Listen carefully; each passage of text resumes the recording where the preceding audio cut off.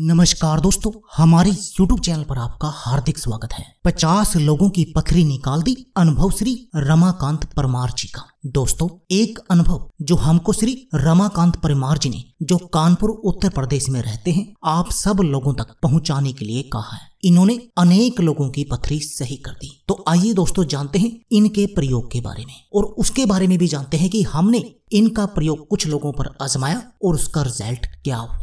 दोस्तों, एक अनुभव जो आप लोगों से मैं शेयर करना चाहता हूँ, जिसको रमाकांत जी ने हमें भेजा था, पथरी की दवा, जिससे काफ़ी लोगों को फ़ायदा हुआ, जिससे पथरी रेत बनकर मूत्र के साथ निकल जाती है और चाय छानने वाली छन्नी से, मूत्र को छानने से हम इस रेत को देख सकते हैं। दोस्तों, उनके इस प्रयोग को हमने भी करीब साठ लोगों पर आजमाया। साठ लोगों को यह दवाई करवाई। तो उसमें से 40 लोगों को एक बार में ही ठीक हो गई और 10 लोगों को दूसरी बार यह प्रयोग करना पड़ा। मगर करीब 10 लोगों को तीन से चार बार में भी कोई फ़ायदा नहीं हुआ। कहने का भाव ये है कि हमने 60 लोगों पर इस नुस्खे को आजमाया और उसमें से 50 लोगों को बहुत अधिक फ़ायदा हुआ। तो आइए दोस्तों जानते हैं रमाकांत परमार जी के इस प्रयोग के बारे में। इसके लिए जो आवश्यक सामग्री चाहिए, वह चाहिए पत्थर चट जिसको पखान भेद भी कहते हैं। इसके 12 से 15 पत्ते। ये पौधा आपको किसी भी पंसारी या नर्सरी से मिल जाएगा या मैं नीचे डिस्क्रिप्शन में लिंक दे दूँगा, वहाँ से भी आप इसको बाय कर सकते हैं।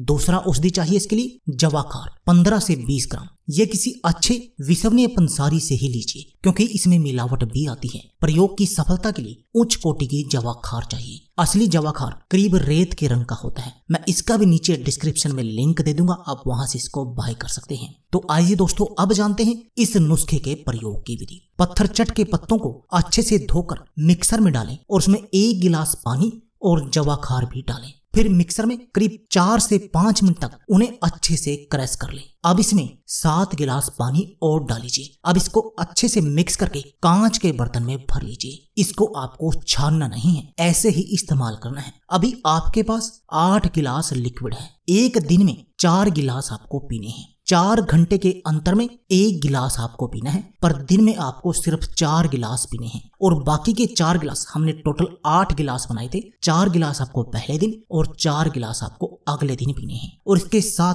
हर आधे घंटे के बाद मटके का शुद्ध पानी भी पीना है। और ये दो दिन हो सके तो आपको पूरा रेस्ट करना है। इन दो दिनों में बहुत आपको पेशाब लगेगी और हर बार छन्नी से आप अपना मूत्र छाने। आपको रेत जैसे कण दिखाई देंगे, जो इस प्रयोग के सफल होने की ओर इशारा करेंगे। इस प्रयोग के एक हफ़्ते के बाद आप दोबारा से पथरी के लिए जाँच करवाएँ। यदि थोड़ी पथरी रह गई हो तो एक हफ़्ते या पंद्रह दिनों के बाद फिर से यह प्रयोग करें। इस प्रयोग से 80 परसेंट केसेज में पथरी कितनी भी बड़ी हो, वो निकल जाती है। ज़्यादातर केसों में इस प्रयोग के बाद ऑपरेशन करवाने की नौबत नहीं आती। अब जानते हैं पत्थर चट के बारे में। दोस्तों, आप इसके नामों के बारे में जानना चाहेंगे कि आपके एरिया में इसको किस नाम से जानते हैं। संस्कृत में इसका नाम है पर्णबीज। हेम सागर हिंदी में इसको कहते हैं पत्थर चटम, पत्थर चूर, पत्थर चट, पाषाण भेद, पखान भेद। और बंगाली में इसको कहते हैं कोप्ट और पत्थर पुची। तेलुगु में इसको कहते हैं राना पल्ला और तमिल में इसको कहते हैं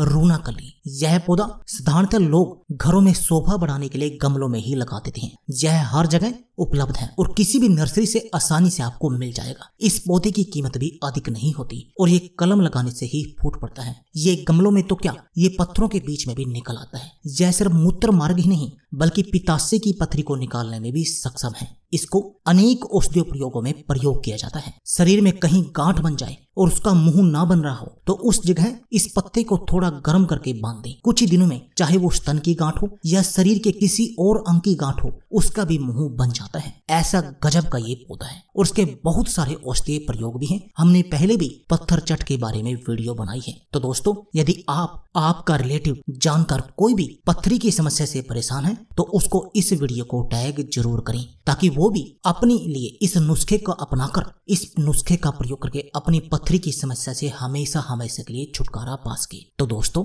यह थी हमारी वीडियो। अगर आपको हमारी वीडियो अच्छी लगे या इससे आपको कोई जानकारी प्राप्त हो तो प्लीज़ आप हमारी वीडियो को लाइक व शेयर करना ना भूलें। इसके साथ साथ आप हमारे यूट्यूब चैनल को सब्सक्राइब करना ना भूलें, क्योंकि इस चैनल पर आपके लिए हम ज़बरदस्त टिप्स लेकर आते हैं, जिससे कि आप अपने जीवन को सुखमय बना सकते हैं। और सुखमय जीवन। जी सकते हैं। धन्यवाद दोस्तों।